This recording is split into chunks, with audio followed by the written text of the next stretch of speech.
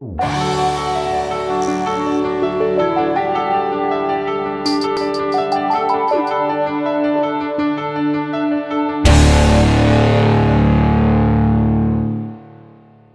voy a presentar en dos frases, aunque imagino que la inmensa mayoría ya me tiene más o menos ubicado. Soy Diego Gómez, soy profesor formador del Aula de Artes Plásticas de la UPE y eh, bueno, impartimos esta charla dentro de, bueno, como una modesta contribución a las celebraciones del quinto centenario de la muerte de Leonardo da Vinci. Esta charla, como viene ocurriendo en los últimos años, pues forma parte de un programa de la Universidad Popular uno de los cuales consiste, de de artes plásticas, en elegir una gran obra de arte de la pintura universal y, bueno, desmenuzarla en todos sus aspectos y presentarla al público a modo de conferencia. Bueno, muchas gracias a la de Artes Plásticas por la invitación, a la UP en general y a ustedes por su presencia. Bueno, vamos allá. Les reitero las disculpas por la tardanza.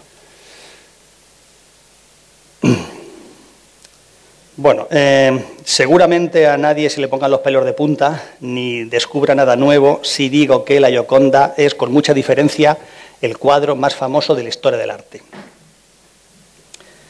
Hoy mismo, esta misma mañana, mientras ultimaba los flecos de esta charla, eh, he hecho una rápida eh, búsqueda en Google mm, para constatar hasta qué punto la Gioconda es un icono universal celebérrimo en la actualidad. Por ejemplo, si uno escribe en Google la palabra Ioconda, que es como se conoce en castellano a este mítico cuadro, le salen nada menos que 16 millones y medio de resultados.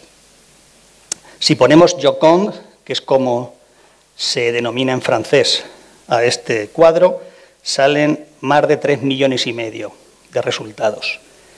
Y si ponemos Mona Lisa, que es el nombre de pila de la que, según todos los indicios, porque no todo el mundo está de acuerdo, es la mujer que posó para el cuadro, aparecen nada menos que 245 millones largos de resultados. Para que les sirva como de elemento de comparación, las meninas tiene 66 millones de entradas en Google, 66 millones de resultados. Y hay que tener en cuenta que menina es una palabra que en portugués significa eh, niña, por tanto, los resultados de las meninas no específicamente se refieren al cuadro por necesidad. Es evidente que Mona Lisa se refiere exclusivamente al cuadro y o a la mujer que posó para él. Bueno, ningún otro cuadro de la historia del arte, perdón, ningún otro cuadro de la historia del arte sobre ningún otro cuadro se ha escrito tanto como sobre la Gioconda. Mucho de lo que se ha escrito es completamente disparatado e incluso algunas cosas completamente estúpidas. Yo voy a referirme lo menos posible a estas últimas. Ninguna otra obra de arte ha sido más explotada por el marketing ni por la publicidad. Se ha reconstruido con muestras de la carta Pantón, por ejemplo. Se le ha puesto a la Yoconda un burka o un velo islámico para denunciar, en fin, las imposiciones indumentarias que sufren las mujeres en ciertos países islámicos se le ha hecho abrir los ojos de par en par para vender café, café descafeinado. Se le ha hecho en cuerpo de carne y hueso viajar en avión. Se le ha hecho sonreír de manera totalmente franca para vender pasta de dientes. Se le han buscado dobles para vender pizza. Se le ha alargado el pelo para vender, no sé si un tinte o un champú. Y se le ha dejado completamente calva en una campaña para la concienciación sobre el cáncer, específicamente el cáncer de pecho. Ningún otro cuadro tampoco ha sido tan homenajeado, eh, también vilipendiado, eh, parodiado y recreado por artistas, especialmente en el siglo XX. La primera presencia de la Gioconda excitada en un cuadro de un personaje de talla mundial, al menos en el siglo XX, es esta obra de Gaspar Malevich de 1914 que como pueden ver incluye un fragmento de la Gioconda tachado a modo de protesta por la excesiva fama, el excesivo peso que el arte clásico tenía para este pintor del que quería sacudirse claramente. El uso más eh, famoso de la Gioconda lo llevó a cabo Marcel Duchamp en 1919, que consistió en comprar una postal que reproducía el cuadro del Louvre, ponerle un bigotito y una pequeña perilla y anotar eh, al pie del cuadro las letras L, H, O, O, Q, que pronunciadas en francés viene a significar como ella tiene el culo caliente o ella está caliente, que es una alusión picante a la presunta homosexualidad de Leonardo. Ferdinand Leguer también lo homenaje en 1930. Dalí se hizo un autorretrato yocondesco, incorporando sus rasgos, especialmente su bigote, a la Yoconda. Warhol, con motivo de la exposición eh, de la Yoconda en Nueva York en 1964, hizo una larga serie de obras reproduciéndola mediante serigrafía. Fernando Botero, en 1959, pintó una Yoconda gorda a los 12 años. Fukuda, el japonés, hizo una de las versiones más interesantes y más chulas y más chocantes de la Yoconda, que es casi mágica. Bueno, como digo, raro es el artista con mayor o menor talento, raro es el gracioso de turno, el ocurrente, que no en algún momento de su vida no se le ha ocurrido utilizar la Yoconda para cuadros, chistes, memes o todo tipo de, de usos. Incluso el grafitero, misterioso grafitero Banksy, pues también tiene algunas obras que reproducen la Yoconda, en este caso con un lanzagranadas en, alguna, en algún país seguramente en el que está teniendo lugar alguna conflagración bélica. Bueno, el problema de la Gioconda es que precisamente ese exceso de fama que padece, y digo padece a plena conciencia, es lo que nos impide ver con ojos limpios y desprejuiciados un cuadro que es archifamoso y del que todo el mundo cree saberlo todo, pero lo que sabe sobre todo es un conjunto de mitos, de leyendas, de leyendas maravillosas, preciosas e incluso poéticas, pero que no en, no en demasiadas ocasiones se atienen con la realidad de la época en que fue pintado, de la realidad de la modelo o de la realidad del pintor. Mm.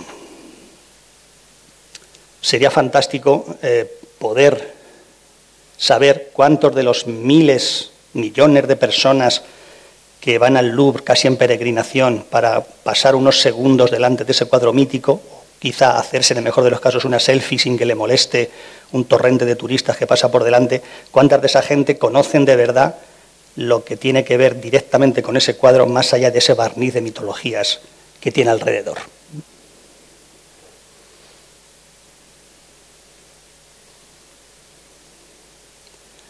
Curiosamente, tanta gente mira la Gioconda en la sala de los estados que no todo el mundo se da cuenta de que justo detrás de ellos hay un cuadro que es, a mi modo de ver, bastante mejor que la Gioconda, siendo la Gioconda un cuadro excelente, que es bodas de, las bodas de, de Caná de Veronés, que, bueno, si pudiéramos meternos en la piel de uno de esos muchos personajes que incluye, quizás estén un poco decepcionados y frustrados por la poca atención que reciben ellos frente a la mucha que recibe su vecina de enfrente de la sala.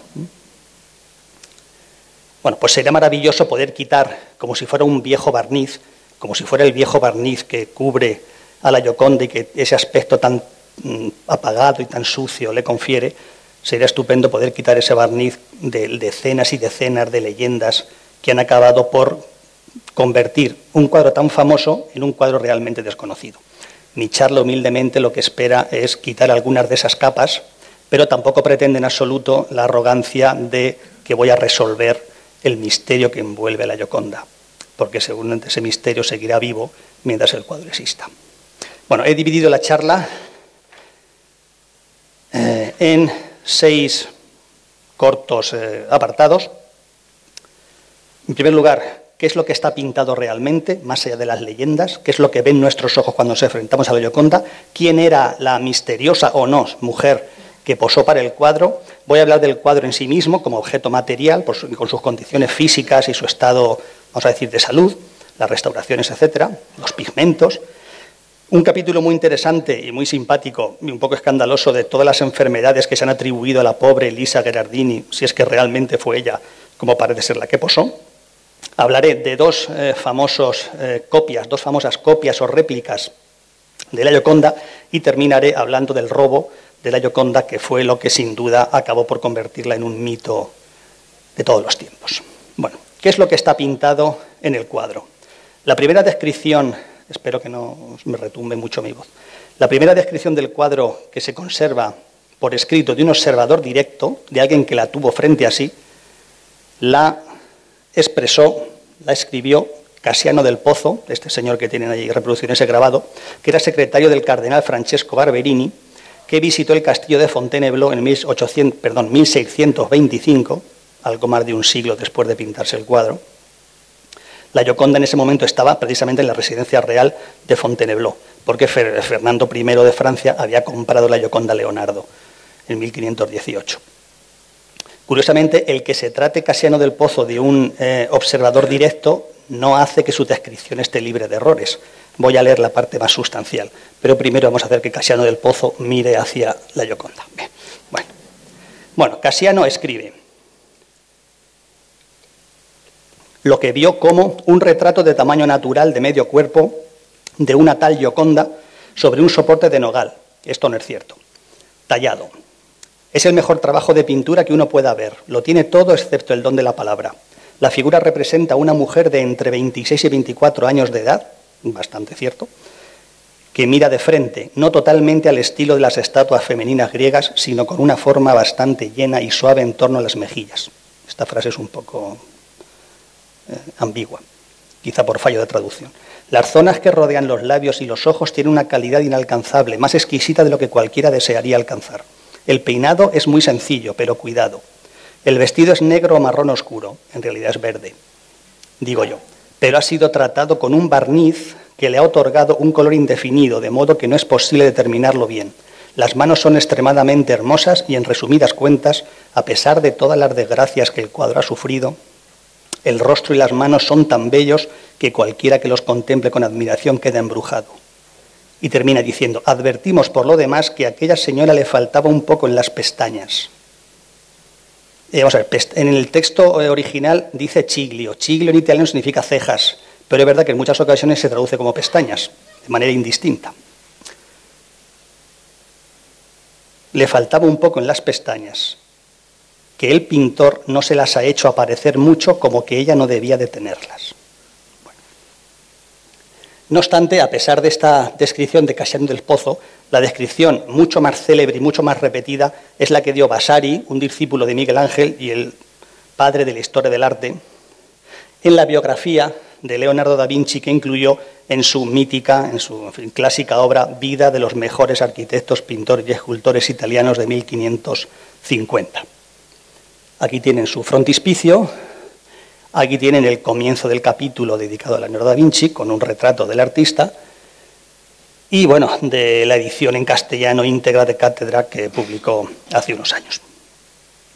Esta obra, como digo, su edición original, 1550, fue reeditada en 1568 con algunas adiciones y modificaciones de errores que Vasari detectó, pero el capítulo, la descripción de la Gioconda permanece idéntica tanto en la edición original como en la de 18 años más tarde con lo cual Vasari se ratificó claramente en que su primera descripción había sido correcta.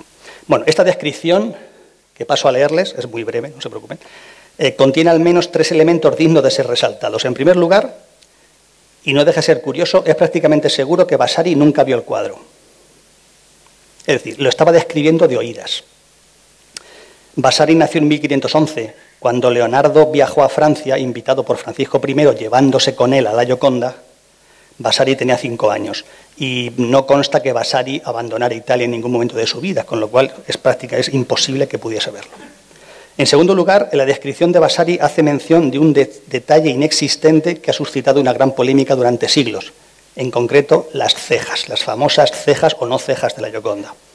Y por último, aunque Vasari se refiere a la boca de la Gioconda, pues no menciona esa sonrisa que hoy en día se ha convertido en mítica, Dice Vasari, todo aquel que quiera ver en qué medida puede el arte imitar a la naturaleza lo podrá comprender en su cabeza, porque en ella se habían representado todos los detalles que se pueden pintar con sutileza. Los ojos tenían ese brillo y ese lustre que se puede ver en los reales, y a su alrededor había esos rosáceos lívidos y los pelos que no se pueden mostrar sin una gran sutileza.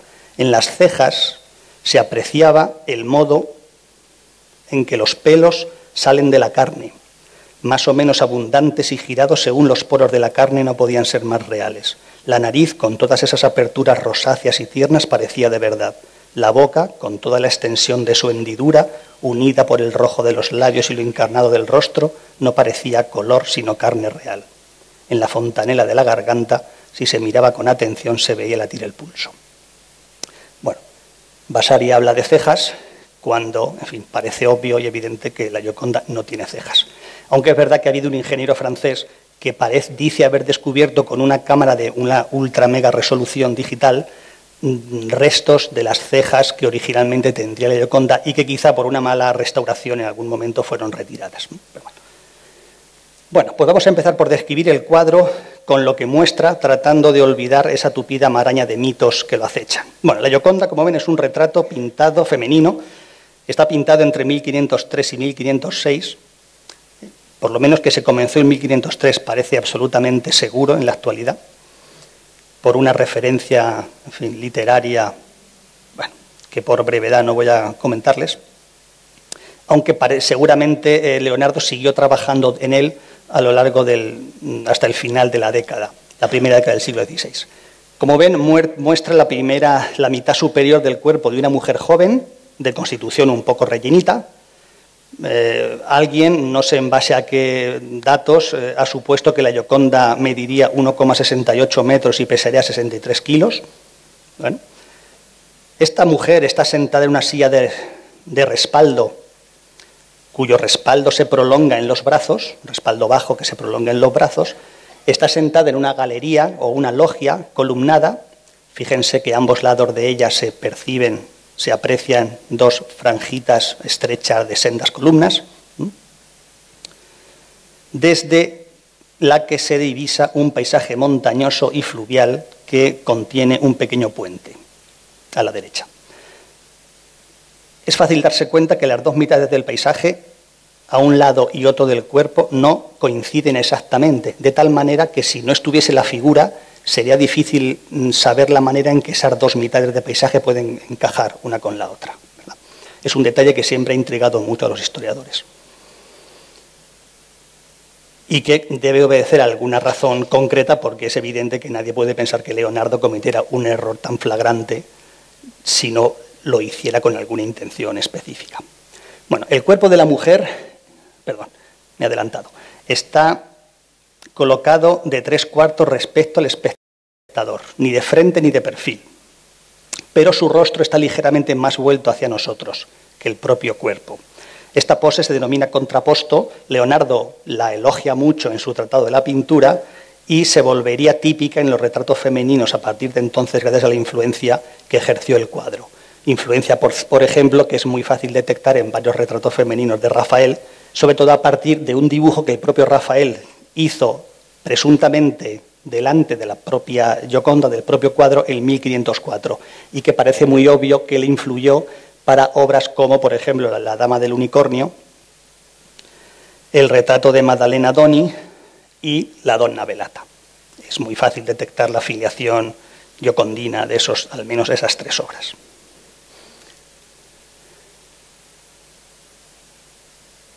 La Yoconda luce una melena corta y algo rizada, cuyos mechones delanteros tocan sus hombros. Estos hombros están cubiertos con una especie de pañuelo o estola. A pesar de lo que pueda parecer, no lleva el pelo suelto, sino que está recogido seguramente en la nuca con algún moño y deja libres algunos mechones que son los que caen hacia adelante. Hay que tener en, en cuenta que en la época solo las muchachas y las prostitutas llevaban el pelo suelto. Con lo cual hay al menos dos buenas razones para que Lisa Gerardini no lo llevase suelto en este retrato. No era prostituta y ya no era una muchacha. Un ligero velo cubre su cabellera. El escote del vestido deja ver el arranque de sus pechos. Su mano izquierda rodea sin fuerza el extremo del brazo de la silla, mientras que la derecha se posa suavemente sobre la muñeca de la otra. Un tratado italiano anónimo de final del siglo XV, llamado El decoro de las niñas, establecía que las niñas tuvieran siempre, incluso caminando, la mano derecha sobre la izquierda a la altura del talle. Era una pose de modestia y de decencia típicamente femenina, por tanto. Su rostro, que carece de cejas y aparentemente también de pestañas, nos mira directamente y nos sonríe con aparente timidez. Esa sonrisa que ya es un tópico calificar de enigmática y que también llamamos leonardesca, y que el propio Leonardo y muchos de sus sucesores o discípulos o imitadores explotaron de manera un poco rapaz, como por ejemplo tienen claro en estos tres detalles de, otras, de otros tantos autores de la órbita leonardesca. Bueno, cuando da la primera pincelada al retrato, Leonardo da Vinci tiene 51 años y ha realizado ya la mayor parte de su obra pictórica, una obra pictórica que de por sí es bastante corta. Se contabilizan apenas 25 cuadros total o parcialmente salidos de su mano. Desde que pintó la Gioconda hasta el final de su muerte, solamente cuatro obras salieron de sus, de sus pinceles. Y según dicen los expertos, no todas completamente eh, autógrafas.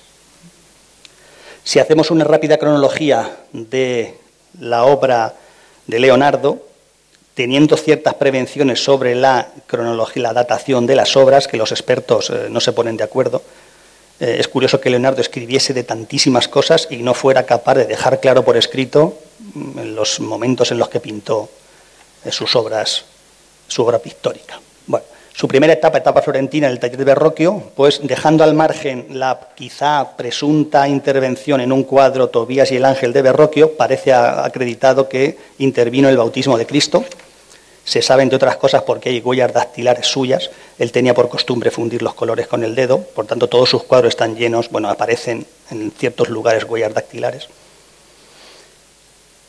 La Virgen del Clavel, que se encuentra en los Uffizi, en la mitad del eh, segundo, iniciándose el último cuarto del siglo XV. La Anunciación, también en los Uffizi. La Madonna Benoit, el retrato de Ginebra de Benci, hija del banquero Amerigo de Benci, parece acreditado que fue recortado en su parte inferior. El cuadro inacabado San Jerónimo en el desierto y el también inacabado La adoración de los magos. La segunda etapa de su vida transcurre en Milán, llamado por Ludovico Sforza, el dueño de Milán, a esa etapa pertenecen la Virgen de las Rosas, que es la tabla central de un retablo que fue, le fue encargado por una iglesia milanesa, pero me refiero a la de la versión del Louvre, porque hizo una segunda versión años después. El retrato de un músico. La Dama del Armiño, seguramente el retrato de Cecilia Galerani, que era amante de Ludovico Sforza, con 16 años, la retrató. La Bella Ferronier, Parece ser que se le ha identificado como Lucrecia Crivelli, la sucesora de Cecilia Galerani en el corazón de Ludovico Sforza, su segunda amante, y cuya denominación popular, la Bella Ferronier, no se sabe muy bien de dónde le proviene. Hay un par de teorías. Unos dicen que se le confundió en el siglo XVII con un amante del Francisco I, rey de Francia, que era esposa de un tal Le Ferron, y otros dicen que el adorno que le cruza la frente, ese cordel con esa piedrecita, se le denomina una ferronier, o en la época se le llamaba una ferronier. Bueno, no está claro de dónde le proviene ese, nombre. La Madonna Lita, aunque otros autores la atribuyen a Voltrafio, su, un discípulo suyo. A continuación, la Virgen de las Rocas en la versión de la National Gallery, seguramente con dos discípulos eh, que colaboró, la famosísima Última Cena del convento de Santa María del Grache de Milán, una etapa breve itinerante, que estuvo para acá y para allá, habría pintado la Madonna del Uso, aunque no, algunos se la atribuyen más a su discípulo Salai a partir de un boceto de Leonardo. Es muy curiosa esta obra porque incluye un paisaje que se asemeja muchísimo, y siendo que la reproducción no sea mejor, al que aparece en el fondo de la Gioconda, pero invertido en espejo, incluso con el puentecito que pueden ver en la parte baja.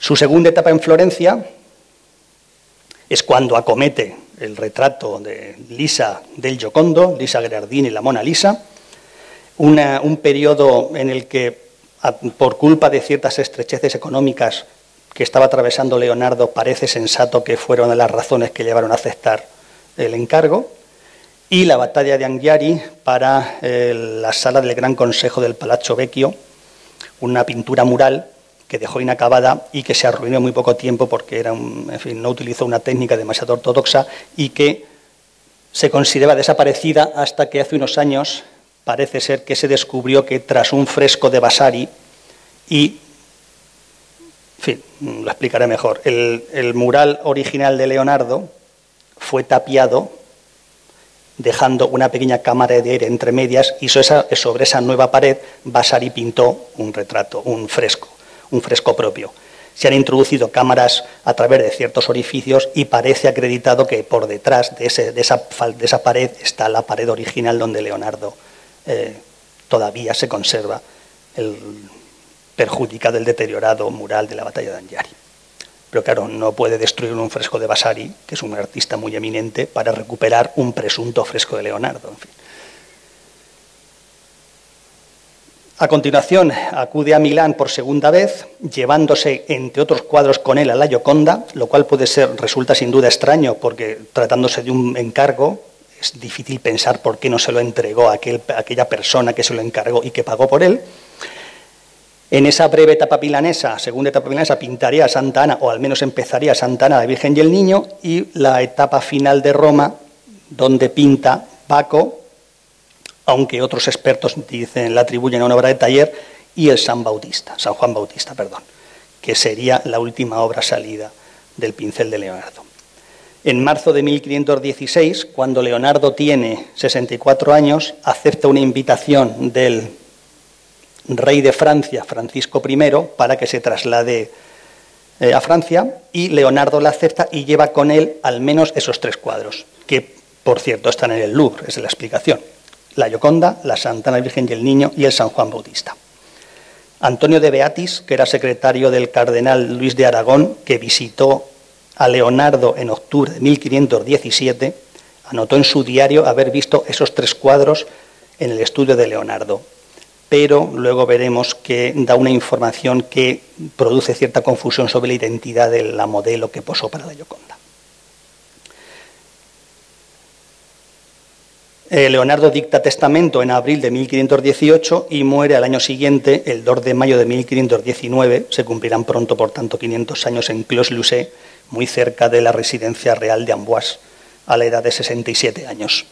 Hoy en día, el castillo de Amboise, donde está enterrado Leonardo y donde vive sus últimos años, es una especie de parque temático leonardesco. Dice la leyenda que Leonardo da Vinci exhaló su último aliento en brazos del rey de Francia, lo cual posiblemente sea una historia romántica pero falsa. Porque por otra parte es un tópico que se repite respecto a muchos artistas antiguos. Se sabe que a la muerte de Leonardo la Gioconda se encontraba en su estudio. Bueno, ¿quién es la mujer que posó? La identidad de la retratada ha sido fuente de innumerables especulaciones, algunas de ellas totalmente absurdas y disparatadas, como he dicho al principio. Parece que no todo el mundo se cree la información que da Vasari de que se trataba de Mona. Mona es la abreviatura de Madonna en italiano señora, Lisa, diminutivo de Elisabetta, la esposa de un tal Francesco del Giocondo. Eso dice Vasari expresamente en su historia, de en esa biografía de Leonardo. Antonio de Beatis, en cambio, en 1517, al que ya he citado hace un momento, dice que la Gioconda se trata del retrato de una dama florentina que fue encargada por, a Leonardo por Giuliano de Medicis, este señor que viene ahí retratado por Rafael, que era protector de Leonardo en Roma. A partir de lo cual, de ese testimonio, algunos suponen que la Gioconda era en realidad el retrato de una amante de Giuliano de Medicis, de origen aristocrático y se han dado varios nombres. Por ejemplo, uno de ellos, Pacifica Brandano. El problema es que Pacifica Brandano eh, había nacido en Urbino y si hemos de creer a, Beatis, mm, la Gioconda era una dama florentina, con lo cual había que descartar esta posibilidad. Puede ser que Beatis se confundiera, fuera mal informado, o según algunos, el cuadro que realmente viera en 1517 no fue la Gioconda, sino la Bella Ferronier pero hemos dicho que la bella Ferronier era amante de Ludovico, Sforza, el milanés, tampoco era amante de Giuliano de Medicis, con lo cual tampoco esto soluciona gran parte del problema. Bueno, fuera los dos. Otra posibilidad es que fuera Isabella Gualanda, amante también de Giuliano de Medici, se ve que el hombre era un hombre bastante activo en cuestiones eróticas, pero era de origen napolitano, en este caso. Giovanni Paolo Lomazzo, un tratadista italiano, en una obra de 1590, habla de una Mona Lisa napolitana, a raíz de lo cual alguien pensó, algún historiador, que podía referirse a Isabel Gualanda, que era, como digo, de origen napolitano.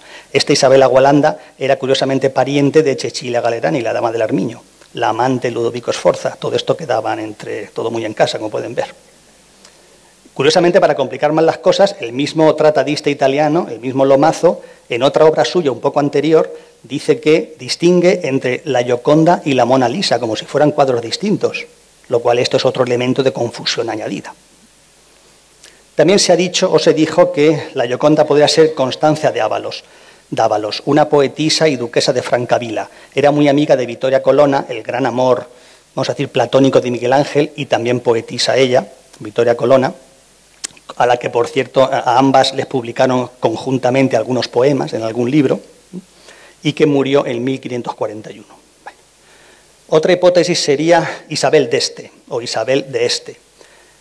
Nació en 1474 de manera que en 1503 tenía 29 años. Bueno, esto podría encajar con la edad aparente que parece tener que tiene la Gioconda. ¿no?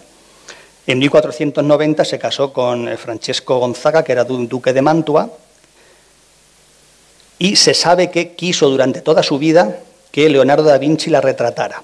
Lo máximo que consiguió de él es este dibujo, que generalmente se considera un retrato de Isabel d'Este que está datado alrededor de 1500, es decir, algunos años antes de comenzarse el retrato de la Gioconda. En 2013 se encontró un cuadro hecho obviamente a partir de este dibujo leonardesco que durante una época, pues durante, fin, algunos autores atribuyeron a Leonardo da Vinci y yo, sin darme el de experto ni mucho menos, me parece bastante obvio que no encaja estilísticamente con las obras leonardescas eh, acreditadas. También hay quien dice que la Gioconda es Caterina Sforza. Nació en 1463, por lo que en 1503 tenía 40 años. No parece que la Gioconda tenga 40 años en el momento en que Leonardo la retrató. Y además Lorenzo di Credi la retrató cuando tuvo 20 años y parece que el, parecido con la Gioconda no es demasiado evidente, con lo cual creo que podemos descartar por completo esta hipótesis, por edad y por semejanza. Fuera. También hay quien dice que podía ser Isabel de Aragón Esforza, cuya boda con Galechano María Esforza organizó el propio Leonardo da Vinci. Pero es una hipótesis que tiene bastantes, muy, muy pocos partidarios. También hay gente que, la que asegura que la Gioconda no es una mujer real de carne y hueso, sino que es una mujer ideal, un arquetipo de belleza sin existencia física. Un ideal que Leonardo inventó para reflejar la idea que él tenía de la belleza femenina. Eh, bueno, no niegan estos autores, los que defienden esta hipótesis, de que Leonardo la comenzara frente al modelo, pero que lo fue continuando durante muchos años hasta convertirla en un arquetipo femenino genérico o ideal, al margen de que se pareciera más o menos a la mujer real que tuvo frente a sí. Hipótesis más descabelladas, por ejemplo, un pintor, Maurice Beul, un pintor francés en 1913, sostuvo que la mitad inferior del rostro de la Gioconda es femenina y la mitad superior masculina, y que había sido el propio Leonardo quien había dado sus, propios rasgos a la mitad superior del rostro de la Gioconda. Otros dicen que Leonardo empezó el retrato delante de una mujer real de carne y hueso, pero lo acabó eh, copiando sus propios rasgos. Y esto lo demuestran, entre comillas, superponiendo el rostro de la Gioconda con el rostro del presunto autorretrato de Leonardo que todos tienen en su cabeza, pintado con sanguina, dibujado con sanguina, sobre un papel así tostado, y advirtiendo que encajan perfectamente. Me parece una prueba bastante débil. Seguramente el 80% de ustedes encajaría su rostro con el de la Gioconda, incluso forzando un poquito, aunque sea a costa de forzar un poco algún milímetro arriba o abajo. Un crítico de arte en 1952, George Isarlo, tras analizar una radiografía que se hizo al cuadro, supuso que la Mona Lisa en realidad es un travestido, es un hombre vestido de mujer. Gianni Clerici le puso nombre a ese presunto hombre travestido. Dijo que quien posó para la Gioconda era el discípulo de Leonardo, Gian Giacomo Caprotti Salai, vestido de mujer. Este es un presunto retrato de Salai por Leonardo, por su maestro un hombre, un joven muy atractivo, del que, en fin, se sabe o se, presupone de manera bastante verosímil que le unía a Leonardo una relación más íntima que la de puro profesor y alumno.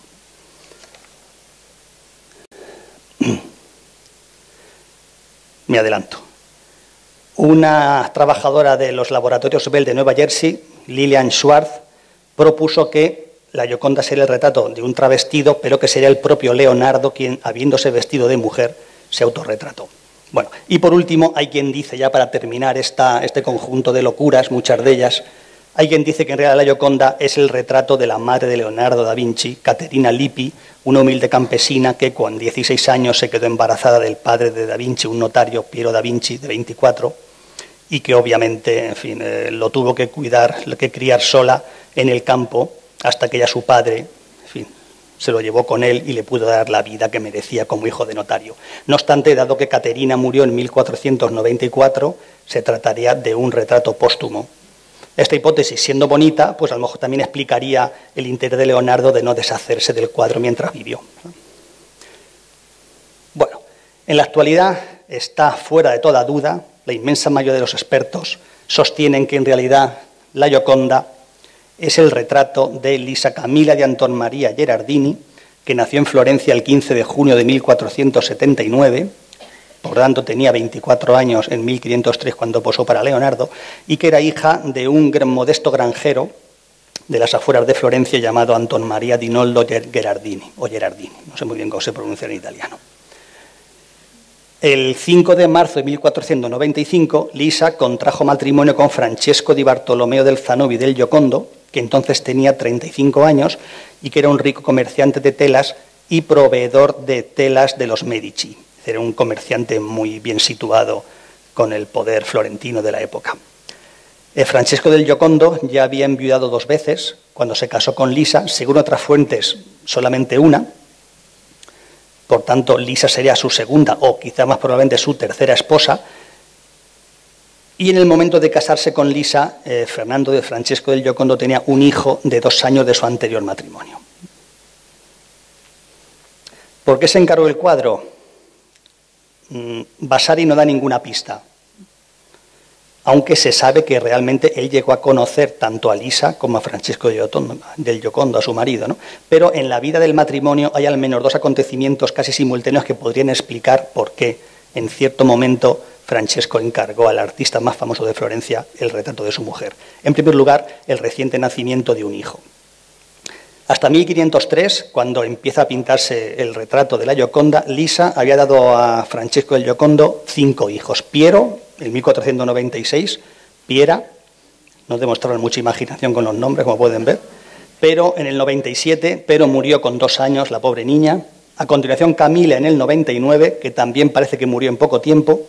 Marieta, que nacería en 1500, y por fin en diciembre de 1502, muy pocos meses antes de, por tanto, empezar el retrato, cuyo comienzo se considera a principios de 1503, nació su hijo Andrea. Andrea Niño, ya saben que Andrea en italiano es un nombre masculino. Se ha apuntado que el hecho de que la Gioconda esté cubierta por un velo es una costumbre, responde a una costumbre de la época que consiste en que las mujeres que acaban de tener un hijo se cubrieran precisamente con un velo, con lo cual se acreditaría que la Gioconda eh, Mona Lisa acabaría de, tener un hijo recientemente. en 1507, uy, perdón, se ha descolocado, eh, nacería el sexto y último hijo del matrimonio, Giocondo. Tiene mucha gracia que se llamara Giocondo del Giocondo. Además de eso, Francesco acababa de comprarse una gran casa en Florencia, entre el reciente alumbramiento de un hijo y una gran casa muy lujosa, pues quizá no es extraño que un hombre adinerado, muy bien situado, encargase un retrato de su esposa al, como he dicho, el artista más reputado de Florencia. Por otra parte, el padre de Leonardo, que ya hemos dicho que era notario, había sido notario de Francesco y lo había representado en varios litigios, con lo cual había una relación de eh, amistad o de trabajo, digamos, entre la familia da Vinci y la de Giocondo.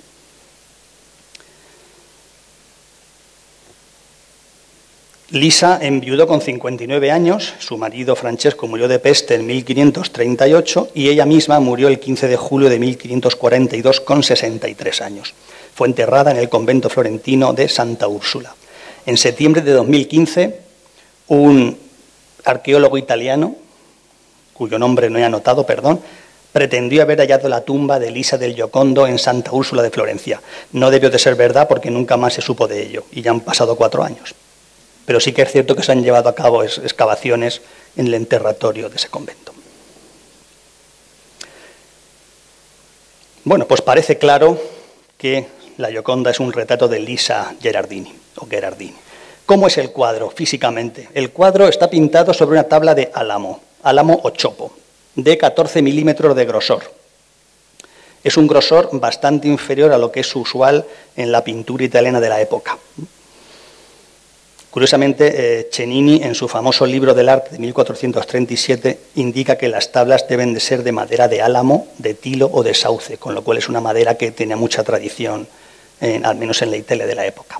También está pintado sobre álamo que se sepa, hablo de, de Leonardo, la Anunciación de los Uffizi, el retrato de Ginebra de Benzi y la versión de Londres de la Virgen de las Rocas, y también la Santa Ana, la Virgen y el Niño, del Louvre, aunque en este caso es un cuadro bastante más grande y es bastante más grueso que la Gioconda, tiene 24 milímetros de grosor.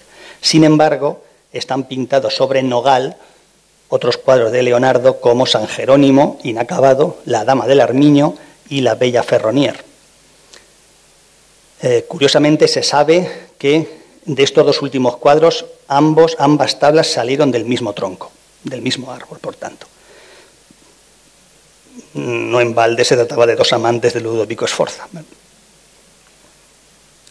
Curiosamente, eh, en las notas que dejó muy desordenadas y que su discípulo Melzi aglutinó para crear el trato de la pintura, Leonardo no habla de que el álamo o chopo sea una, una madera especialmente buena para, para pintar. De hecho, él dice textualmente, la tabla ha de ser de ciprés, peral, acafresna, que es un arbusto de las rosáceas, o nogal. Curiosamente, la Gioconda del Prado sigue sobre nogal. De eso hablaremos a continuación. ¿Qué tamaño tiene la Gioconda? Bueno, pues tiene, aunque no es un rectángulo completamente perfecto, tiene 79,4 centímetros de alto por 53,4 de ancho. Parece que es una tabla relativamente grande y no deja de ser extraño que se componga de una tabla única en lugar de varias tablas mm, ensambladas como es costumbre eh, para obras incluso de este tamaño que puede parecernos demasiado grande. Por ejemplo, la Santa Ana, la Virgen y el Niño consta de cuatro paneles ensamblados, aunque es verdad que es un cuadro bastante más grande, tiene 1,13 por 1,68, es bastante más grande que la Gioconda. El cuadro sin marco pesa unos 8 kilos. Si comparamos la Gioconda, incluida su marco, con el mastodonte que es las bodas de Caná, que mide casi 10 metros de ancho, pues así como sería la proporción. Es evidente que no por ser un cuadro más grande es mejor que otro más pequeño, pero es que, insisto, yo creo que la Boda de Cana es mejor cuadro que la Gioconda, pero bueno, solo dice Diego Gómez, nadie más. Ahí tiene el respaldo de la Gioconda, la madera de álamo es una madera muy homogénea y de grano muy fino, y el reverso muestra daños producidos por insectos xilófagos, es decir, comedores de madera. Se sabe que el corte de la tabla fue paralelo al eje del tronco. Esto es lo que se llama un corte transversal. Y este tipo de corte eh, hace que los llamados radios medulares, que forman parte del sistema vascular del árbol, formen trazos, líneas verticales en relieve, que son muy visibles con luz rasante. Esas especies de abultamientos de líneas ligeramente abultadas son, digamos, las venas del árbol, el sistema vascular del árbol, que por ese corte son muy visibles en la superficie de la pintura. El corte transversal respecto al eje del tronco da tablas de mejor calidad, pero es más fácil que se agrieten. Perdón, el corte, sí. El, corte tangencial es la yoconda, el transversal es el que da mejores tablas, pero da más problemas. Antes de pintarse el cuadro, a la tabla se le eh, adhirieron, se le pegaron en sus bordes cuatro listones de 6 milímetros de anchura antes de dar la capa de preparación y, por supuesto, de la pintura. Listones que fueron retirados en 2005 cuando se llevó a cabo un exhaustivo análisis de la pintura. Como ven, debajo de esos listones no hay pintura, porque, insisto, fueron pegados antes de empezar a pintar. Esto elimina por completo esa hipótesis que se ha repetido durante mucho tiempo de que el cuadro era antes más ancho es decir, las columnas serían más visibles de lo que es ahora, lo que son ahora, pero que en cierto momento fue recortado por ambos lados, por alguna razón misteriosa. Esta, la, presencia de esos cuatro listones eh, demuestra que el cuadro se ha mantenido como tal, sin recortes, durante toda, toda la historia. Lo que está muy claro y pueden advertir en esta radiografía es que las columnas fueron pintadas después sobre este antepecho, como demuestra el hecho de que se vea por debajo de ellas la continuación del borde del, pollo de la logia. ¿Me explico? Quizá en algún momento eh, del proceso de ejecución de la obra Leonardo decidió añadirlas, sin haberlo, como digo, previsto inicialmente. Bueno, la preparación de la tabla de álamo es, de blanco de plomo aglutinado con aceite de linaza, lo que viene a llamarse en lenguaje fin, común eh, blanco de plomo o blanco de plata. Esto de blanco de plata sin ningún rigor lógico porque no tiene nada que ver con la plata, pero se le ha llamado así tradicionalmente. No es gesso, lo cual es una anomalía en la pintura sobre tabla de la época. Es decir, la preparación es una capa de óleo pura y dura. Y en cuanto a la paleta que empezó, que utilizó Leonardo, a los colores que se sabe que fueron utilizados a partir de ciertas muestras muy discretamente fueron tomadas de distintas zonas del cuadro, se sabe que utilizó naturalmente el blanco de plomo, para el cielo la azurita, que es un azul de carbonato de cobre, parece también que el lápiz lazuli generalmente velando, es decir, aplicado como una veladura sobre el azul de azurita, porque era más barato el de azurita, y el lápiz lazuli siendo mucho más caro, se restringía solamente al uso de veladuras para ahorrar costes. En la carnación está utilizada solamente laca orgánica de Kermes. El vermellón, ya fuera natural o sintético, que ya se fabricaba en la época con toda fin rutina, un tierra de sombra natural, que es un óxido de hierro con manganeso, que es en la que están trazados básicamente los rasgos, ese tono amarronado que tienen, que tienen el rostro. Tierra de siena natural que se sepa en el iris, en los ojos. Negro de carbón, aunque no, no se está totalmente seguro de que sea esa la materia prima. El vestido tiene verdigris, que es acetato de cobre, lo que en el siglo de oro se llamaba el cardenillo ocre amarillo y un amarillo de, de plomo u estaño. Además, el paisaje, además de todos estos colores, tiene un tierra verde, que es un pigmento mineral, una tierra, un óxido de hierro de tonalidad verdosa.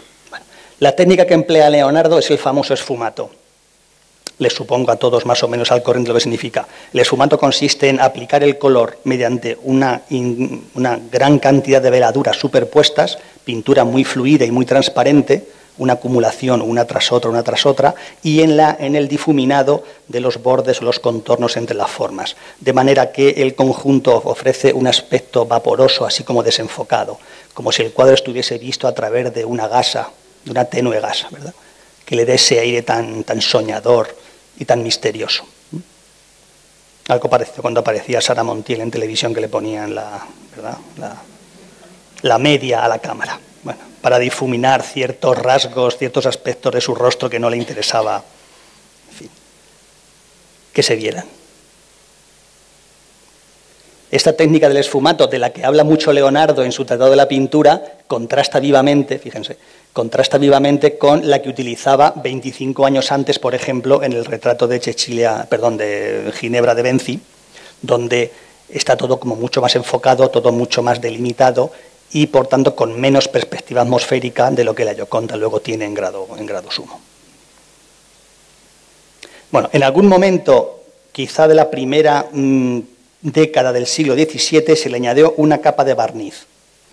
La oxidación bastante rápida de ese barniz es el principal responsable de ese aspecto amarronado de esos colores, ese aspecto que hizo que el historiador del arte británico Kenneth Clark llamara a Mona Lisa diosa submarina, porque es verdad que parece estar sumergida en un tanque de agua no especialmente limpia. ¿verdad?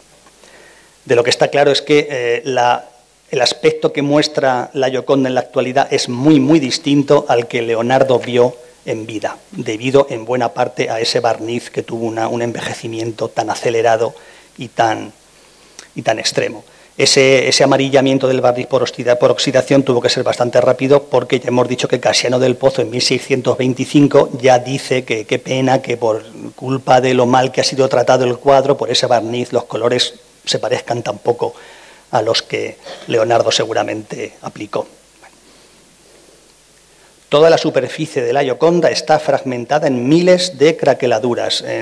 había encontrado el número exacto que alguien tuvo la santa paciencia de contar, pero se me ha traspapelado, si no se lo diría con mucho gusto. Hay craqueladuras de los cuatro tipos que existen, horizontales, verticales, oblicuas y cuadrangulares, y todas son de edad. no porque el cuadro haya sufrido ningún problema mecánico o de deterioro eh, no natural, sino porque el óleo, pues por el propio paso del tiempo, craquela de manera inevitable o casi inevitable.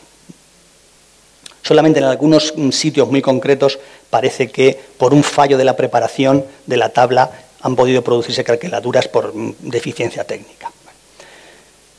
Existen algunas lagunas de la capa pictórica, como por ejemplo esa manchita clara que pueden ver ustedes ahí. Una laguna es una pérdida de capa pictórica que han sido repintadas en algunas de las ocasiones en que el cuadro ha sido restaurado. Por ejemplo, en el codo, ahí tienen esa laguna, esa pérdida de pintura, que fue fruto del ataque que el cuadro sufrió el 30 de diciembre de 1956, a las cuatro y media de la tarde, para los amantes de la precisión.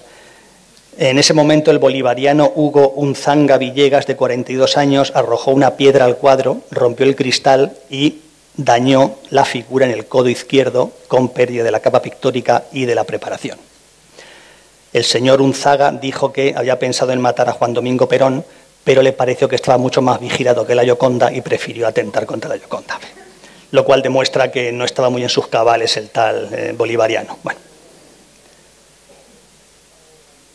Esta es una imagen de reflectografía infrarroja y esta es una imagen con luz visible del cuadro que en función de cómo incida la luz, pues es más o menos visible ese repinte de la laguna. En cambio, alguna laguna no repintada, una muy obvia, se puede ver en el párpado superior del ojo izquierdo de la Yoconda, derecho para nosotros. Esa laguna, como ven, no ha sido rellenada y posiblemente no sea rellenada nunca. Pentimenti o arrepentimientos los hay, diabetes o la hipercolesterolemia, en fin, el colesterol alto. Y también en este mismo estudio se descubrió un lipoma subcutáneo de aproximadamente 3 centímetros, una acumulación de grasa en la mano derecha delante del arranque del dedo índice. Todo ello, dicen los expertos, llevaría a pensar en una hiperlipidemia, es decir, niveles altos de lípidos en la sangre que desembocaría en un aterosclerosis, vaya por Dios, perdón, una acumulación de grasa y colesterol en las paredes de las arterias y que quizá explicaran la muerte de Lisa de una cardiopatía. La coloración amarillenta de la piel hay quien la ha atribuido a hipotiroidismo, debido a una alteración, leo textualmente, de la conversión hepática del caroteno en vitamina A, lo cual dice este autor, que es compatible con la falta de cejas y el nacimiento de la línea, o sea, y el retroceso de la línea de nacimiento del cabello. Es decir, el hecho de que tú tengas la frente tan alta. Bueno. Eh, esta hipótesis del hipotiroidismo estaría suscrita por dos argumentos. Primero, la dieta de la época, que era bastante pobre en yodo, parece ser, y en segundo lugar, un hipotiroidismo producido por el reciente parto de Lisa Gerardini. Ya hemos dicho que unos meses antes había dado a luz a Andrea, ¿no? La llamada tiroiditis periparto, que se puede haber convertido en un hipotiroidismo crónico. Hay quien encuentra señales de bocio en el abultamiento de su cuello, el aumento de tamaño de la tiroides por déficit de yodo, algunos pormenores del rostro del cuello de las manos evidenciarían eh, alteraciones hormonales, según algunos propias de un embarazo, pero ya hemos dicho que en todo caso Lisa Gerardini acabaría de parir, no estaba embarazada. Un eh, médico lionés en, el 91 propuso que eh, Lisa Gerardini padecía hemiplegia, con el hombro y brazo derechos paralizados, lo cual explicaría esa extraña postura de su cuerpo. Otro médico francés en el 62 dijo que Lisa Gerardin era bizca, padecía estrabismo. Curiosamente, muy recientemente, otra teoría mm, supone que el que realmente estaba bizco era el propio Leonardo. Habría padecido exotropía intermitente, lo cual parece ser que incrementaría su habilidad para la representación de los aspectos tridimensionales de los objetos, cualquiera sabe. Sin dejar los ojos, también hay quien dice que padecería anisocoria, una dilatación desigual de las pupilas. En concreto, la pupila derecha estaría más dilatada que la izquierda. Quien sí padecía nisocoria fue, era el cantante David Bowie. Pero creo que Elisa Gerardini parece que no. Sobre su mirada se ha dicho, y esto forma parte de esa leyenda que gira en torno a la Gioconda, que es una mirada muy especial, casi, casi única en la historia del arte, porque sigue al espectador donde quiera, que te, donde quiera que te pongas. Eso se le ha llamado el efecto Mona Lisa. Esto, siendo cierto, no tiene nada de particular, porque eso ocurre con cualquier cuadro, perdón, con cualquier cuadro o fotografía que esté mirando hacia adelante. Pasa con la Gioconda, pero pasa con millones de cuadros que se han pintado a lo largo de toda la historia. Últimamente hay un estudio que parece demostrar que en realidad la Gioconda no está mirando al espectador, sino ligeramente hacia su derecha. Pero bueno, no vamos a meternos en complicaciones. cualquier rostro que mire hacia adelante parece mirarnos del mismo modo que cualquier rostro que esté mirando hacia un lado nunca parece mirarnos a nosotros aunque nos coloquemos en el lado hacia el que está mirando. Siempre parecerá estar mirando más allá de donde estamos nosotros es la misma explicación que cualquier rostro que mire hacia adelante parezca mirarnos a nosotros, la Yoconda y muchos otros. Bueno, respecto a su sonrisa, hay quien dice que, un médico californiano en concreto, que Lisa padecería la parálisis de Bell, una hinchazón de los nervios faciales que controlan el movimiento de los músculos de la cara y cuyo origen no parece estar del todo claro. Infección vírica, la enfermedad de Lyme, una infección del oído medio, etcétera, etcétera. Una de las consecuencias de esa parálisis es la imposibilidad de sonreír. Esa particular sonrisa hay quien la atribuye a un ictus, producido por la hiperlipidemia, que hemos dicho al principio, por exceso de colesterol. ¿eh? Filippo Surano, un médico italiano en el 99, propuso que tenía bruxismo, es decir, rechinar compulsivo de dientes. Y además nefritis o inflamación del riñón, lo cual produce inflamación o hinchazón en manos y rostro. Le dará ese aspecto así como regordete, la Yoconda. Un dentista de Génova dijo que la Yoconda padecería dolor de muelas.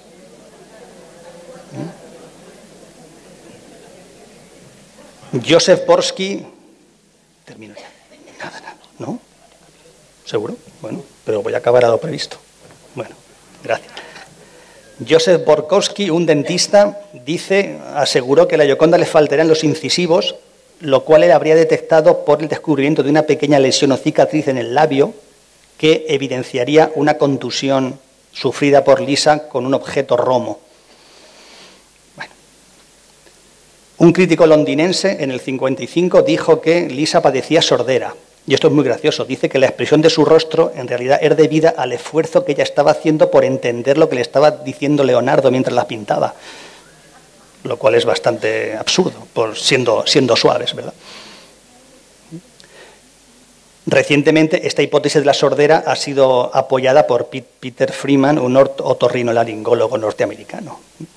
Claro, esta hipótesis, de ser cierta, invalidaría la hipótesis, bueno, lo que cuenta Vasari, de que mientras posaba para Leonardo, el pintor tenía en el estudio, para amenizar un poco la espera, las largas sesiones, pues un grupo de cantantes y de instrumentistas musicales que le hicieran a Lisa la espera un poco más amena. Claro, si era sorda, no haría falta tener toda esa parafernalia. Eh, suponemos a Leonardo lo bastante inteligente como para no perder el tiempo ni el dinero en mostrar música, eh, en hacer oír música a una sorda. Bueno, y para terminar, ha habido quien ha pensado que Lisa padecía asma, esclerodermia, vaya, o endurecimiento de la piel. El pintor del siglo XX, Paul Klee, sí que padecía esclerodermia de verdad.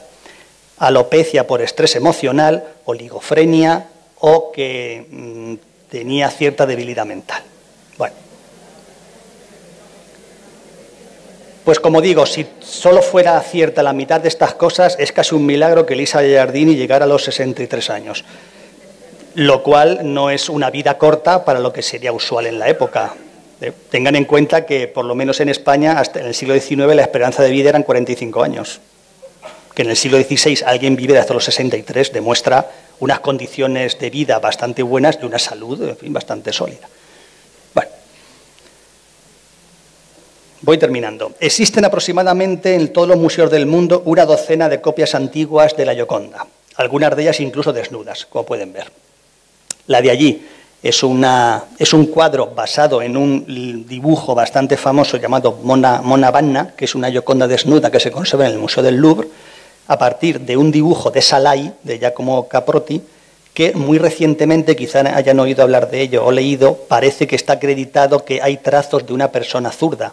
Como Leonardo era zurdo, parece que ahora se está poniendo sobre el tapete que quizá la famosa Monna Vanna, la Yoconda desnuda, era en realidad un estudio preparatorio de Leonardo para, para la Yoconda. Pero bueno.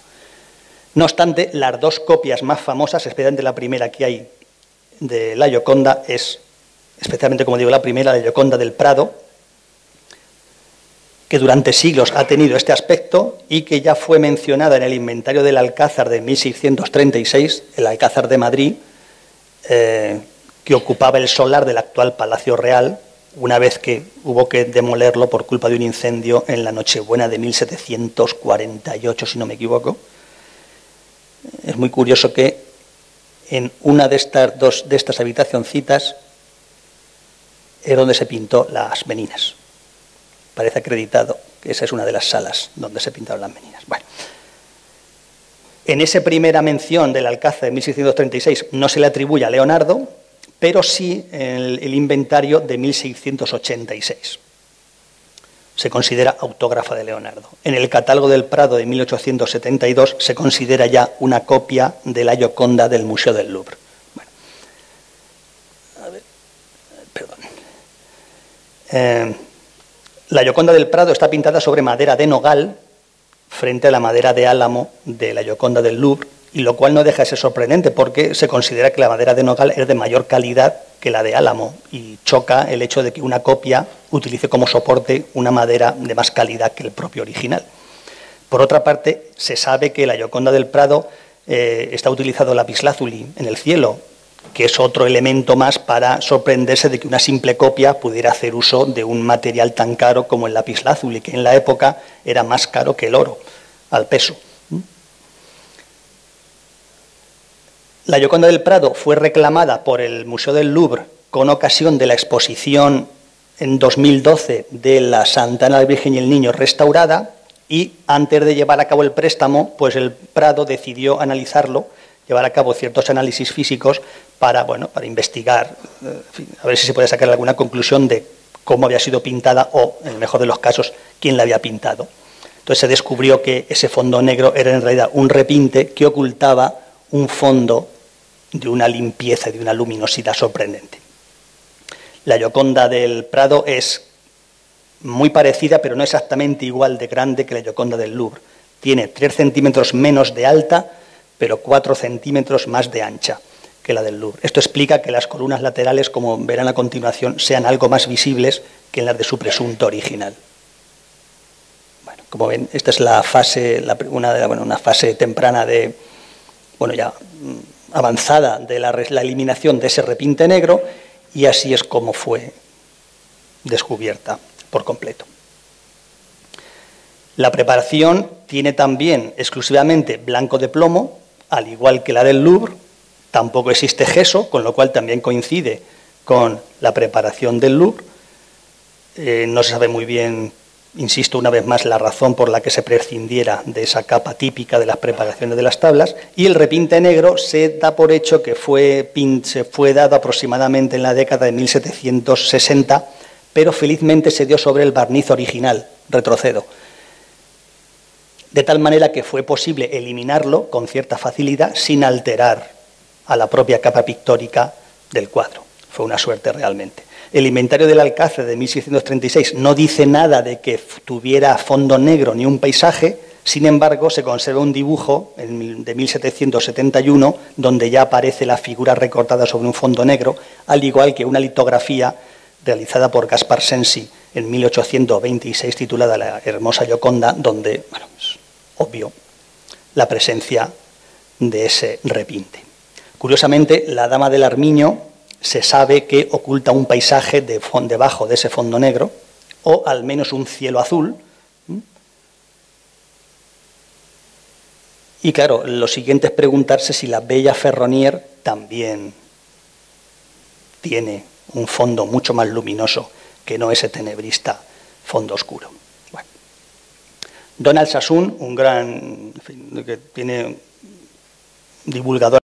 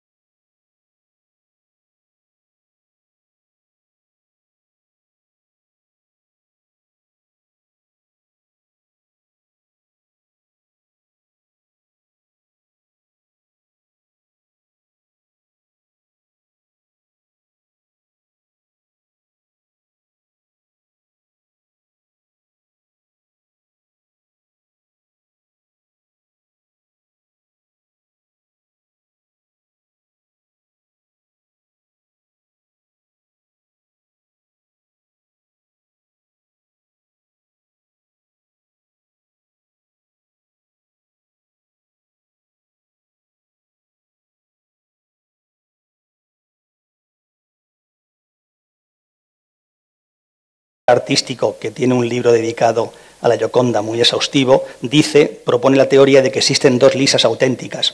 El retrato que Leonardo da Vinci entregó a Francesco del Giocondo, con cejas y pestañas, que es realmente el que, perdón, el que acabaría en el Museo del Prado, sería el nuestro, y un segundo retrato que Leonardo pintó de manera simultánea al original y que entregaría este primero a su, a su propietario, a Francesco del Giocondo, y que se llevó con él y lo modificó durante años ya en el tramo final de su vida y del que no se separaría hasta su muerte.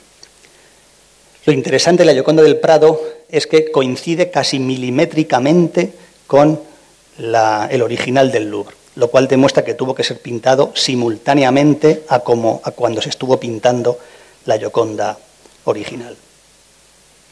¿Cómo se sabe esto? Porque por debajo de la capa pictórica existen correcciones que coinciden exactamente. Es decir, un copista no sabe lo que está debajo de la capa superficial. Cuando mediante radiografías o reflectografías infrarrojas comprobamos que las correcciones son idénticas en ambos casos, es demostración evidente, indiscutible, de que el artista que está copiando está viendo lo que está haciendo el maestro e introduciendo de manera simultánea sus mismos, sus mismas rectificaciones.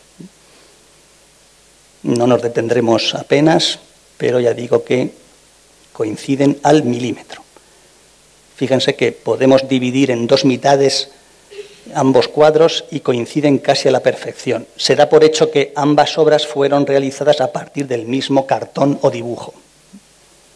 Y si las superponemos por transparencia, fíjense que salvo en las manos que difieren ligeramente y algunos detalles menores, la frente quizá un poco más alta en el caso de la del Louvre y una cara un poco más rellenita en el caso, de la frente más alta en el caso del Prado y una cara más rellenita en el caso del Louvre, coinciden de manera sorprendente. Otra muestra más de que no hubo una simple copia eh, posterior.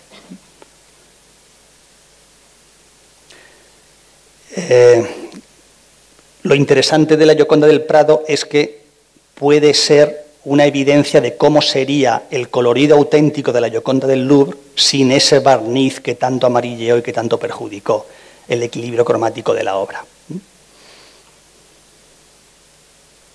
Y esto lo corroboraría, por ejemplo, el hecho de que la restauración de la Santa Ana, la Virgen y el Niño, una restauración muy polémica que llevó a que dos grandes restauradores franceses dimitieran como protesta por lo que se había hecho con esa mítica obra de Leonardo, demostraría que esa restauración, que el colorido leonardesco auténtico, pues era mucho más vivo de lo que la historia del arte nos ha acostumbrado a suponer en función del aspecto actual que tienen, que tienen sus obras. Santa Ana antes de su restauración y después. No difiere en exceso su colorido del que tiene todavía en la actualidad la Gioconda del Prado. Es una imagen de la restauración tan polémica de la Santa Ana de Leonardo. Antes y después. Pero fíjense, si comparamos el actual aspecto de la Santa Ana con la copia que hizo Melchi eh, unos años más tarde a ser pintada y que se ha conservado en mejores condiciones cromáticas, pues en fin, no, es descabellado pensar que el producto de la restauración es muy fiel respecto al auténtico color que tuvo en su momento. Fíjense la semejanza cromática entre la Santana original y la copia de la Gioconda del Prado. Una pintora norteamericana, Janice Cortés, hace unos años propuso cuál sería el aspecto que tendría la Gioconda sin ese barniz tan desventurado que ha perjudicado tanto su aspecto para los ojos actuales. Es muy curioso que no, no difiere de manera muy, muy significativa ¿verdad? del aspecto que tiene nuestra Gioconda del Prado, que es un cuadro, por cierto, excelente. excelente. ¿Quién pudo pintar la Gioconda del Prado? Bueno, pues hay quien dice que pudo ser Giacomo Caprotti Salai, este jovenzuelo muy atractivo que entró en el taller de Leonardo de 1490 y que ya hemos citado porque hay quien dice que la Gioconda es realmente Salai disfrazado de mujer, ¿no? una hipótesis bastante, bastante chusca. Bueno, otros autores dicen que eh, la, la, del Prado la pintaría un pintor, algún pintor español de los que tenía Leonardo en su taller, como Fernando Llanos o Fernando Yáñez de la Almedina. De este segundo se sabe, se sabe que estaba colaborando con Leonardo en el mural de la batalla de Angiari, que es ligeramente posterior al comienzo de la Gioconda. En el En el testamento de Salai, que se dictó en 1525, figura una copia de la Gioconda bajo la frase de cuadro de una mujer retratada conocida como la Gioconda. Que fuera la del Prado no, eso ya queda en la, en la incógnita. Bueno, menos famosa, porque sin duda no se lo merece, en octubre de 2012 apareció una colección suiza, la llamada Gioconda de Isleworth, que fue adquirida por un coleccionista inglés poco antes de la Segunda Guerra Mundial y que en la actualidad es propiedad de un consorcio privado de inversores de Zúrich que están empeñados en demostrar que se trata de la primera versión que Leonardo pintó de su famosísimo retrato, quizás siendo Lisa Gherardini algo más joven. La Gioconda de Isleworth está pintada sobre lienzo, no sobre tabla, frente al Museo del Louvre, y efectivamente la modelo parece más joven, tiene cejas y pestañas, y retrocedo, hay, bueno, se ve perfectamente, perdón, hay dos columnas flanqueando la figura. Martin Kemp, que es el gran experto internacional, o uno de ellos, sobre Leonardo da Vinci, dice que esta Gioconda es simplemente la copia de un artista anónimo que por capricho decidió quitarle algunos años. Bueno, y termino hablando del robo, que fue el acontecimiento que convirtió a la Gioconda en el mito que es en la actualidad. En realidad, el mito de la Mona Lisa mm, no solo del cuadro, sino también de la mujer que sirvió de modelo, fue una creación de la imaginación del siglo XIX fundamentalmente. En 1851, la Gioconda fue colocada en el Salón Carré, en el Salón Cuadrado del Louvre, junto a otras grandes obras maestras que albergaba el museo, por ejemplo, entre la Santa, la Virgen y el Niño, también de Leonardo. Pero, como demuestran las fotografías o, o los cuadros que reproducen ese Salón Carré, no ocupaba en él un lugar especialmente relevante o destacado. No sé si son capaces de localizar ahí la Gioconda. De hecho, no aparece. Fíjense, en cambio, que en esta obra de Samuel Borse sí que aparece en la parte baja, pero casi abrumada por el peso de otras obras de, mucha mayor, de mucho mayor tamaño. Es decir, no parecía en la primera mitad del siglo XIX tener una relevancia especial, aunque ya era un cuadro realmente famoso. Fíjese en esta vista de Luis de Begut, aparece ahí casi, casi de refilón.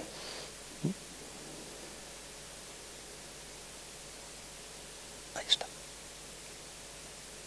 Murillo, Van Dyck, Rafael, Tiziano, en fin.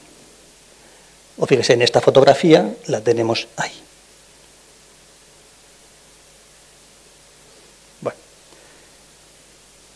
De ser un cuadro famoso, pero no mm, abrumadoramente famoso, se convirtió en mito gracias a ese mítico también robo que sufrió en 1911 y que expoleó la imaginación romántica hasta el infinito.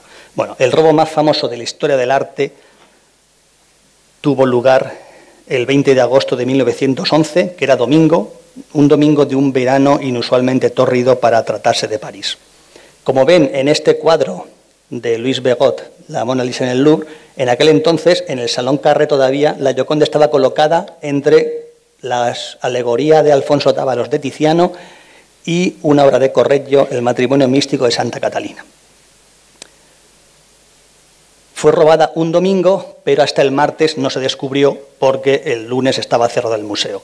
En ese martes, 22 de agosto, el pintor Luis Begot que ven se autorretrata retratando la Gioconda algunos años antes y los cuadros de los alrededores, que lo estaba copiando en ese momento, acudió al Louvre, como tantas otras mañanas, y descubrió que en lugar del cuadro había un hueco con los cuatro anclajes.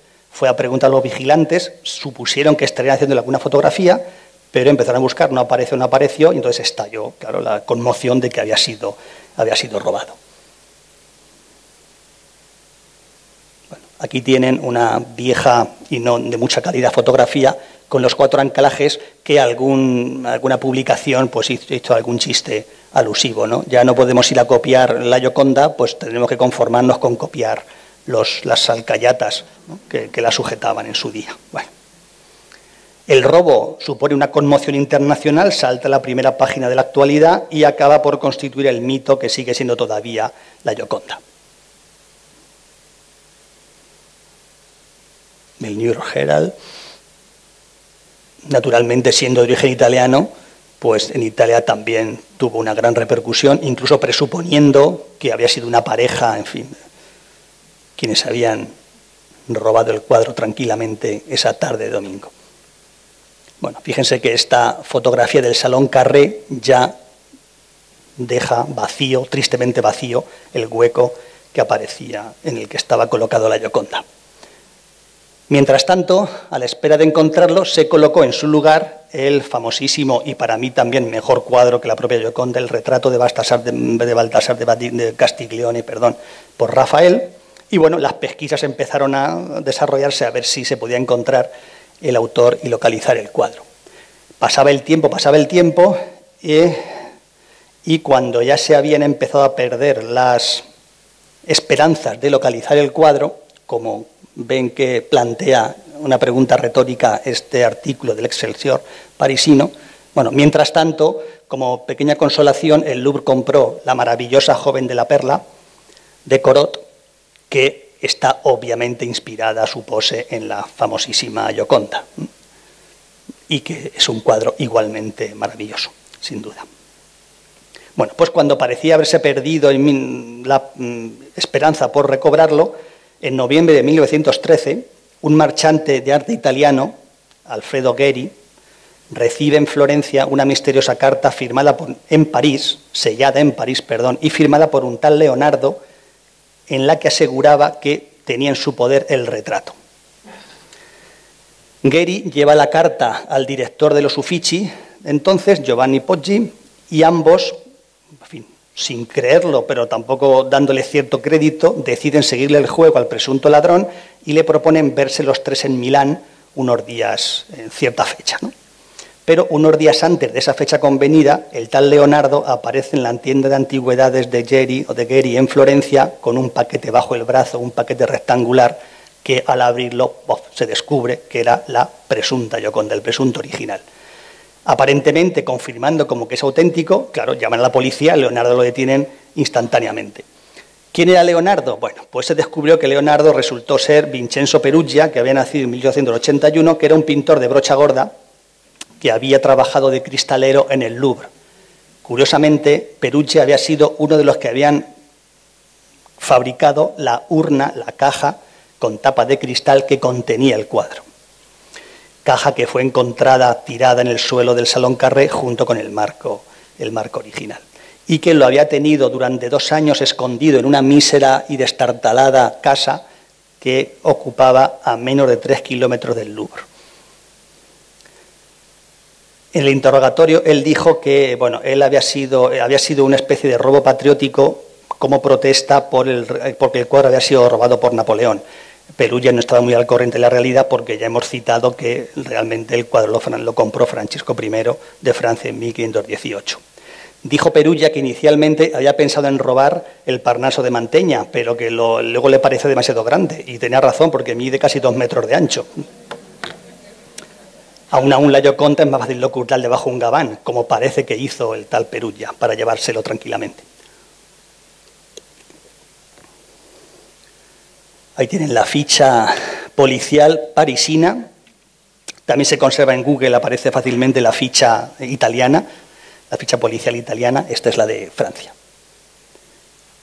Y en esta portada del Excelsior se reconstruye, como ven, a modo de viñetas, pues las distintas fases del robo de la Gioconda. La Gioconda se expuso en los Uffizi en diciembre de 1913, después se expuso unos días después en Roma, durante la Navidad, a continuación en Milán, dos días en la Galería Abrera y desde allí en un vagón privado de tren fue hasta París. Llegó a la capital el 11 de diciembre. Ahí tienen una viñeta de prensa donde aparece el cuadro ya custodiado como Dios manda por la policía francesa deben entender, claro, que esto fue un golpe, un golpe al orgullo nacional francés, una nación que se caracteriza especialmente por su chauvinismo, ¿eh? por su, esa autoconciencia de ser superiores. El 4 de enero de 1914 la Gioconda volvió a las paredes del Louvre ya convertida en mito. ¿Qué fue de Perugia? Bueno, Perugia fue juzgado en Italia, no fue extraditado, lo condenaron a un año y 15 días de prisión.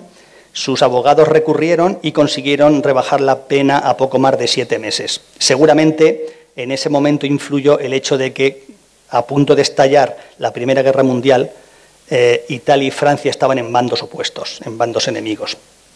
Como Perugia había pasado en la cárcel ya más de los siete meses de su pena, quedó en libertad. Eh, en 1921, ya casado, volvió a Francia, donde abrió, una tienda de pinturas y murió en septiembre de 1947 a los 66 años. Bueno, desde el mismo día de su, de su desaparición surgieron insistentes rumores conspiranoicos que apuntaban a que en realidad el cuadro devuelto no fue el auténtico, sino una copia hábilmente hecha por las autoridades francesas para tapar el escándalo que había supuesto su robo también para el orgullo nacional francés. En 1928 se comparó una fotografía del cuadro en ese momento con otra tomada de 1911 y se comprobó que coincidían exactamente las craqueladuras, con lo cual se confirmaba la completa autenticidad del cuadro. Esto demuestra que a veces los problemas que el paso del tiempo causa sobre las obras de arte a veces son tiene un aspecto positivo que permite acreditar su autenticidad. Bueno, y termino con una reflexión poética que cometeré la, inelegancia de leer para quedar así en todo lo alto. La Gioconda permanecerá hasta el fin de los tiempos observándonos sonriente e imperturbable desde el interior de su pecera a prueba de balas del Museo del Louvre. Quizás sea el precio que deba pagar, o que debamos pagar nosotros, por haberse convertido en destinataria de veneración universal, de una adoración semejante a la que se tributa a las figuras sagradas o puede que incluso superior a ella. La Gioconda es hoy un objeto que debe rehuir el contacto con las masas de fieles que a menudo viajan miles de kilómetros para postrarse durante unos pocos segundos ante su diosa. Es posible que eso sea un precio o una suerte, porque tras su cristal blindado, Lisa Gerardini no puede oír lo que los peregrinos dicen de ella. A veces es mejor no oír, no escuchar, no saber. Los mitos y las leyendas, aunque atractivos, pueden llegar a ocultar la esencia de las cosas. A menudo basta con dejarse llevar y ver tan solo, degustar con la mirada en respetuoso silencio, no por ella, que en realidad es solo una imagen pintada en una tabla, sino por los demás peregrinos, un cuadro que es mucho más que una misteriosa sonrisa. Muchas gracias y hasta otra ocasión.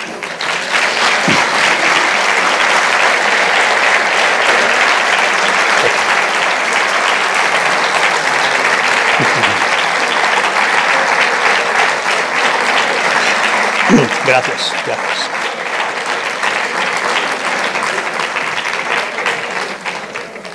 Gracias. Oh.